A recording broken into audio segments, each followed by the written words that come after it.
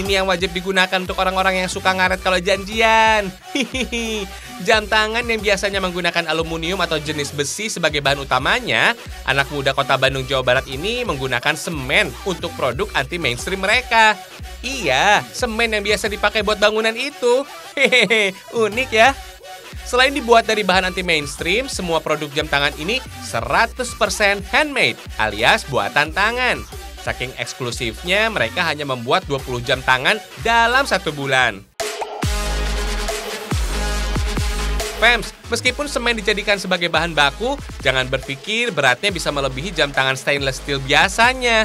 Bobot setiap jam hanya sekitar 29 gram dengan diameter 42 mm serta ketebalan 12 mm.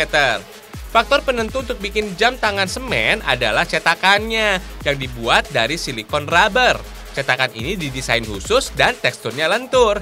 Katanya sih jam ini diciptakan melalui riset kurang lebih tiga tahun dengan formula cetakan yang ringan dan seimbang.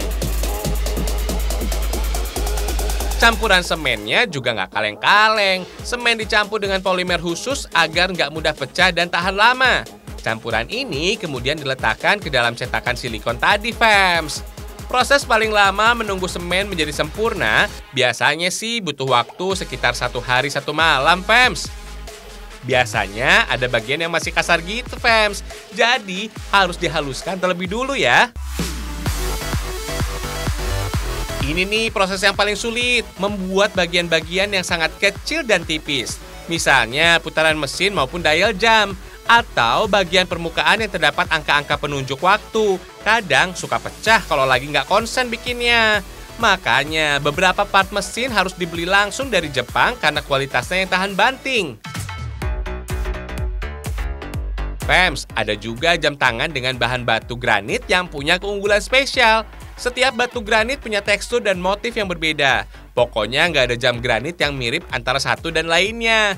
Pengen kan? Bukan cuma kalian aja kok, jam tangan ini langganan banget dikirim ke Singapura. Hihihi. Karena membutuhkan waktu sekitar tiga hari, harganya juga nggak murah, Fems. Satu jam tangan ini dibanderol dengan harga 600 hingga jutaan rupiah. Kalau soal perawatannya sih gampang banget loh. Cukup dengan menggosoknya setiap bulan dijamin jam tangannya kembali kinclong deh. Hehehe.